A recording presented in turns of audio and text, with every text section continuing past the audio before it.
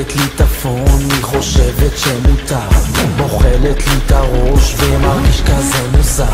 כי אין לה ביטחון והתירוץ הזה מוכר לי. פתאום לא אכפת לי מה שהיא עושה לי. היא כל כך קשה ומן הסתם שלא אכפת לי. בא לי לרסס לה את הראש בגלל הג'וק.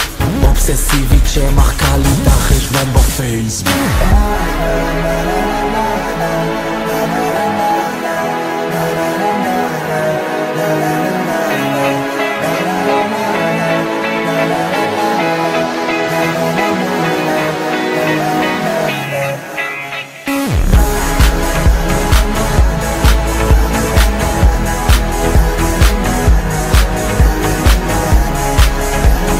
maintenant, Sheila a choisi, c'est la formule de l'émission, elle choisit Ouais. tous les invités.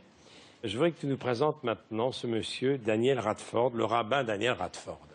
Alors Daniel, c'est une grande histoire, longue, puisqu'elle démarre sur euh, un livre. Daniel est un éditeur, un éditeur qui a été très connu, qui, qui a, fait, qui a sorti des milliers de livres, dont ce- le, mon premier bouquin. Et c'est vrai que lorsque on l'a Chemin de lumière Les chemins de lumière. Oui. Et c'est vrai que ce bouquin, moi, je l'avais à la base fait pour moi. Et voilà, c'est le premier qui m'a dit, mais ce livre, il est très intéressant, il faut travailler dessus. On a commencé à travailler ensemble et Daniel est quelqu'un qui m'a sorti tous mes livres.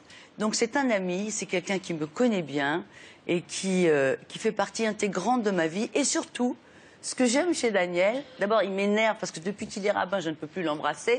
C'est quand même très agaçant. Moi aussi, je regrette. ça, c'est très agaçant. Mais, mais disons Je que, embrasser Michel. disons que, que Daniel a un parcours. Moi, j'ai choisi des invités qui ont des parcours de vie. Et Ah bah, Daniel a alors une ça, vie c'est un parcours absolument, exceptionnel. ouais, absolument, absolument incroyable. Alors, Tout d'abord, pour, pour, euh, parler un petit peu comme ça, la première rencontre que j'ai eue avec Sheila, j'étais chez Lattès, je j'étais directeur général d'édition Lattès, et un de mes directeurs euh, littéraires, euh, Jean-François Colosimo, qui est maintenant président d'ailleurs du CNL, me dit il y a Sheila, il y a Sheila qui veut te donner un livre. Et moi, j'ai toujours eu peur un petit peu. J'ai fait beaucoup de livres de, de- des chanteurs, mais souvent, il faut, il faut les écrire. Ce sont des gros avaloirs, c'est fastidieux. Et donc, j'étais pas tellement chaud. Et quand Sheila est arrivée dans mon bureau, elle est arrivée avec un paquet comme ça, genre paquet poste. Elle m'a posé ça sur le bureau, le petit bureau que j'avais à côté. Elle m'a dit, monsieur, c'est très simple. Vous l'aimez, vous le prenez. Vous l'aimez pas, vous le prenez pas. Mais ce livre n'a rien à voir avec ce que vous croyez. Oui. Et quand elle est partie, tout la thèse, y compris les directeurs généraux, les philosophes, tout- tous ceux qui étaient là, les secrétaires, les standards, tous étaient là en train de regarder en disant Sheila, Sheila, ce que j'ai entendu tout à l'heure.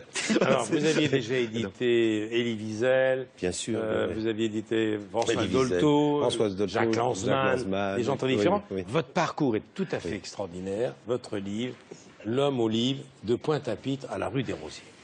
Donc vous êtes d'origine guadeloupéenne.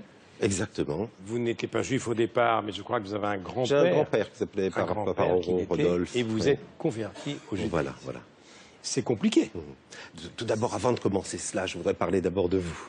J'ai lu votre livre parce que j'ai- travaillé durant 15 ans avec Robert Laffont, dont je Oui. parle beaucoup dans le livre, et j'ai lu votre livre. Et je peux vous dire, j'étais extrêmement qu'on va ému. faire de toi? J'étais extrêmement ému par la, euh, comment, comment vous racontez vos parents, comment la, la relation avec votre père, avec votre mère, la relation aussi avec vos frères, parce que au début, je- on me disait toujours, euh, il n'a pas fait d'études, mais je vois que toute la famille, à part vous, Mais- des gens au contraire très, très, très poussés dans l'étude, et surtout une tendresse de Vienne et de Roumanie. Ah ben, je peux vous dire, j'ai envie de vous rendre hommage par mes ancêtres à moi, pour tous vos ancêtres qui ont été des tout à fait gentil. Exceptionnels. donc, si vous des- avez. Alors, euh, c'est vrai que moi, je viens d'Europe centrale. Mon père s'appelait Abraham et ma mère Lola Scheffler. Et alors, ce qui est extraordinaire, c'est qu'ils viennent de loin, leur pire austro-hongrois. Et mon père, vous le savez, puisque c'est dans le livre, lui, il a tellement voulu découdre, comme l'on dit, l'étoile jaune, Oui. et être le plus français que français, qu'il nous a fait baptiser aux grandes dames de ma mère. Et c'est extraordinaire parce que moi, juif d'origine, on m'a baptisé, Oui. et vous qui n'étiez pas, vous êtes devenu rabbin. Je suis de rabbin. C'est ça le peuple juif. C'est la force du peuple juif. Voilà, Alors, grand racontez-moi pourquoi. Qu'est-ce qui a fait que vous avez voulu embrasser Ouais, cette religion et vous convertir au judaïsme? Très, très simplement, euh, les livres, euh, j'ai toujours été amoureux des livres. Dès l'âge de 13, 14 ans, je, une de mes tantes est rentrée dans les ordres, vous voyez, on continue, dans les, euh, comme bonne sœur, et elle avait laissé une immense malle. Et dans cette malle, il y avait plein de livres. Et comme il n'y avait pas d'interdit dans ma famille, ben, mes frères et moi, on a plongé, surtout moi, on a plongé dans tout, ce que j'ai pu trouver. Les poètes, Jules Laforgue, euh, Mallarmé, euh, mais aussi Freud.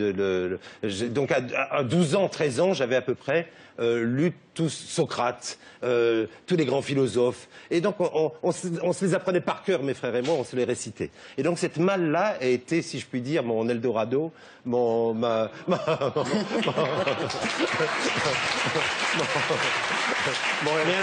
radeau de la Méduse aussi, parce que malgré tout, un peuple euh, des émigrés des Antilles venant à Paris, euh, pendant la période de la guerre d'Algérie, c'était pas, c'était pas si facile. Alors, votre passage vers la religion juive, vous l'écrivez, vous avez à peine 30 ans, et il y a quand même une rencontre avec un médecin juif qui était revenu des camps. Et c'est une rencontre capitale. C'est une rencontre. C'est le fils du médecin. Il s'appelait Sylvain Kaufmann. Sylvain Kaufmann. Sylvain Kaufmann. Un beau jour. bon, les livres m'avaient déjà amené au livre. Je, petit à petit, j'avais lu la Bible et j'ai tout de suite compris qu'il y avait des questions et une espèce de, entre guillemets, que Dieu me pardonne, une espèce de brutalité dans les faits qui m'étonnait en tant qu'homme. Et donc, je me suis dit, s'il y a tant de gens que j'aime qui, y adhèrent, je vais aller voir. Je suis allé rue des Rosiers. Et rue des Rosiers, j'ai rencontré un libraire et ce libraire m'a donné des livres à lire. Et petit à petit, j'ai ouvert tous ces, ces questionnements et finalement, ces questions sont devenues des réalités. Et un beau jour, pour revenir à Sylvain Kaufmann, je me suis retrouvé euh, euh, à la télévision, c'était Antenne 2, je crois, et Sylvain Kaufmann racontait euh, son expérience dans les camps, une, expérience très lourde, très difficile, où il, il s'est évadé dans, un wagon blindé. Je, je raconte L'anecdote exceptionnelle, c'est Sylvain, il a coupé, il était sportif, il était boxeur. Et Sylvain avait coupé le, wagon avec une lime. Il voulait faire, il voulait faire que tout le monde s'en aille. Personne n'a voulu partir. Qu'est-ce qu'il a fait? Il a pris le premier venu. Bon, quand vous ne le connaissez pas, mais c'était comme ça. Il a pris le premier venu et il l'a jeté en, bas du train. Et lui est tombé. Il avait le nez cassé d'ailleurs parce qu'il a pris les cieux du train. Comme il parlait couramment allemand, deux minutes après, les Allemands étaient là ils ont pu se sauver. Et ce monsieur qui l'a sauvé, c'était le père de Badinter. Peut-être, peut-être, s'il n'avait pas sauvé cet homme-là, la peine de mort sera encore. Alors à cette époque, quand vous voulez, quand vous voulez, quand vous voulez vous convertir, vous rencontrez un rabbin qui vous dit attendez-vous à rencontrer de grandes difficultés. Bien sûr, bien sûr. pourquoi? Parce que la religion juive n'est pas comme une religion, si je puis dire, de prosélytisme. Euh, comme la, musulmane ou la catholique, qui, vont chercher les, âmes soi-disant perdues. Dans le judaïsme, au contraire, on est très circonspect. On fait attention. Pourquoi? Parce que vous verrez d'ailleurs, euh, tout l'esprit juif est en cela. Il n'y a pas non plus de grand Napoléon quand on est juif. Les guerres de conquête, ça n'existe pas. Il y a un pays, un pays, on a du mal à le garder, et, c'est tout. Il n'y a pas, a pas de possibilité pour le juif d'aller dire je vais récupérer des choses qui ne lui appartiennent pas. Et donc recevoir un candidat à la conversion, il faut être sûr qu'il est capable de faire 613 mitzvot, c'est-à-dire d'avoir reçu, pardon, excusez-moi, euh, d'avoir reçu au fond tout le mont Sinaï où Dieu est arrivé en disant je suis, il, faut qu'il le revive dans sa chair et dans son âme. Et donc ça prend des années. Et puis il faut apprendre l'hébreu, il faut apprendre euh, les, lois, il faut pouvoir appliquer les lois. Après, il faut pouvoir fonder une famille dans ces lois. Parce que contrairement aux catholiques, on peut être rabbin et avoir beaucoup d'enfants. C'est au contraire une grande mitzvah. Donc euh, c'est tout ce travail-là qui prend du temps. Et il faut être accompagné. Mais ça va beaucoup plus loin parce que vous écrivez J'ai ressenti le regret de ne pas être né juif. Bien sûr, parce qu'il y a un combat entre le corps et l'âme. Quand le corps, lorsque le corps est habitué, moi j'étais éditeur, mondain, euh, efficace quand même, euh, travailleur, mais malgré tout euh, dans, un monde, comme je disais, un ange dans un monde de brut, c'est-à-dire que je passais ma vie aussi dans les cocktails et tout ça, et tout d'un coup tout m'est interdit. Et je dois continuer mon métier. Alors la difficulté, quand on a une âme qui pousse en soi, comme une plante qui pousse à l'intérieur de soi, c'est de dire pourquoi Dieu tu m'as pas fait directement et que je souffre cette ah souffrance là à l'intérieur de cette, c'est comme un peu un morceau de blé qui s'éclate. Non, non, mais c'est plus que ça. Non, mais, vous, écrivez même pourquoi ne m'as-tu pas, vous adressez à Dieu, hein, mm. pourquoi ne m'as-tu pas fait naître juif N'avais-tu rien d'autre à me donner qu'un grand-père juif créole qui ne savait ni lire ni écrire? Alors, euh, dans le judaïsme, les questions, en fait, sont des réponses. Nous, nous sommes le seul peuple à avoir des réponses préétablies. Nous nous posons des questions à partir des réponses que nous avons. Donc, au fond, si j'ai posé cette question, c'est que j'ai la réponse. Il y a deux manières d'être juif. Une manière, on est né de mère juive. Et une deuxième manière, que tous ceux qui veulent rentrer peuvent rentrer. C'est pour ça, d'ailleurs, que le don de la Torah s'est fait dans le désert et pas à Jérusalem. Pourquoi Dieu a choisi le désert? Parce que tous ceux qui veulent rentrer peuvent rentrer. Et alors vous dites. Eh, il n'est pas, il est pas extraordinaire, franchement. Non mais c'est. Hein? c'est- Mais je comprends pourquoi Sheila a été passionnée par votre rencontre. Mais je comprends votre rencontre avec Sheila finalement. Parce que Sheila en hébreu, ça veut dire question. C'est exactement, chez Ella. Et c'est comme ça que, Sheila. que je, je, dit un jour, elle a dit Antenne 2 chez Ella, comme ça je raconte un peu dans le livre cette histoire. Alors, euh, qu'est-ce que vos amis, euh, votre famille euh, ont pensé lorsque vous avez embrassé cette religion? On devient Au début, ils étaient un petit peu surpris. pas rabbin comme ça. Oui. Au début, ils étaient un peu surpris, mais il est vrai que mes parents, ma mère et tout ça, quand ils ont lu la, première fois, au début, c'était un petit peu choquant. Je ne mangeais pas avec eux. Je mangeais à part. Et, et petit à petit, ils mangeaient chez moi. Après, j'amenais chez eux. Et, et maintenant, ma mère est très fière, surtout quand elle vous verra. Alors là, tout le monde le dit, mais c'est vrai que là, tout d'un coup, je suis devenu un grand juif quand ça vous. Et où votre maman?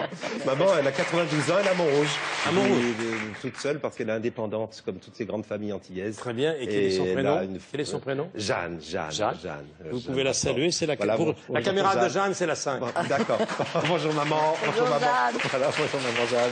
Voilà. L'homme au livre Merci beaucoup. de Pointe-à-Pitre à la rue des Rosiers, c'est une rencontre formidable. Merci Sheila de nous avoir permis de connaître beaucoup mieux Daniel Radford qu'on applaudit ensemble.